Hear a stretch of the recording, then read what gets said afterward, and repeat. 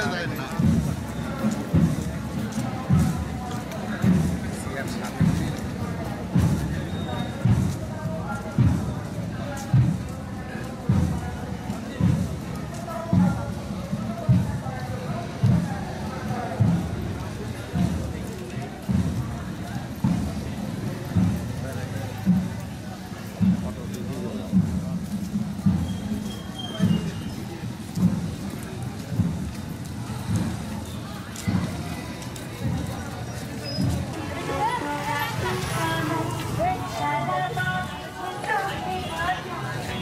Police super জনাব মোহাম্মদ আকবর আলী মুন্সি এরপর পুষ্পস্তবক জাতির পিতা বঙ্গবন্ধু শেখ মুজিবুর রহমানের পুলিশ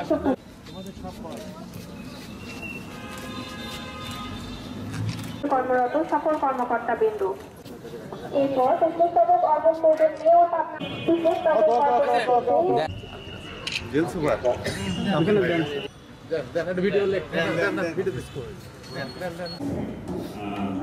ওই অবস্থায় ঘাতকেরা শেখ রাসেলকে নির্মমভাবে হত্যা করে।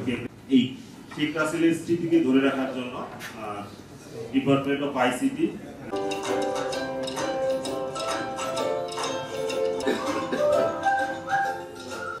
এখানে বক্তব্য দেওয়ার কিছুই নাই। আমি আজকের দিনটাকে রাসেলের জন্মদিন পালন করছে। সরকারি কর্মকর্তা কর্মচারী বিন্দু এখানে উপস্থিত আছেন আমার বন্ধু, এই বাঙালি জাতিকে কে দেখবে? শেখ মুজিবুর রহমান সাহেব। আফার চৌধুরী সাহেব লন্ডনে বসে একটি বই রেখেছিলেন।